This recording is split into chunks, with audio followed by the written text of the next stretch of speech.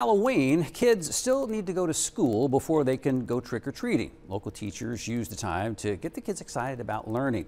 Robinson Miles went to Boonville to see the fun at one local elementary school. If you think back on your favorite Halloweens, there's a good chance they happened when you were in elementary school. From all of the activities in class to seeing your friends in costume. That's why for this Halloween, we came here to Loge Elementary School to see what the staff had in store for the kids. Amid all the candy and costumes, the faculty at Loge Elementary found ways to make Halloween an educational experience for the kids. To start with, each kid's costume was inspired by a book, and some students chose their costume as a way to showcase what they love. I want to say that dinosaurs are my favorite things. Others saw themselves in a book character. She acts like me. I'm a sassy girl. Some chose their costume based on a book which inspires them. Goodnight Stories for Rebel Girls. It's basically just a book of independent women who like change the world. Others had simpler reasons for their costumes. I just thought about it. Yeah? Because it's Halloween. The spooky fun extended to the classrooms, including for the preschool students. Their teachers say their days are usually very structured, but the holiday gave them an opportunity to focus a day on fun along with instruction.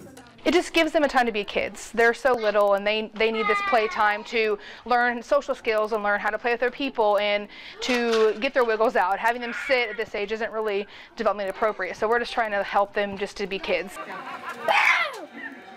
Some parts of the day looked very different from a regular day. One third grade class transformed their room into a haunted house and invited other classes to come and face the terror they had prepared. The kindergarten even took the fun outside the school. They spent the morning visiting and singing at a nearby nursing home.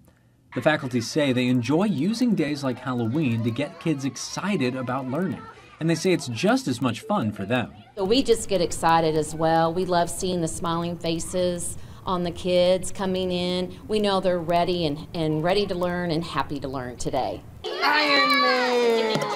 The day even included a bit of trick or treating as the kindergarten and preschool students paraded through the halls. Thinking of all the fun to come, the students couldn't help but share their favorite parts of the holiday. Getting to trick or treat with your friends. All the scary stuff and the candy. Candy. The candy. Halloween is great. Now, if all that looked like fun and you're worried what the kids are up to next, don't worry. Thanksgiving and Christmas are right around the corner. Reporting in Boonville, Robinson Miles, 14 News.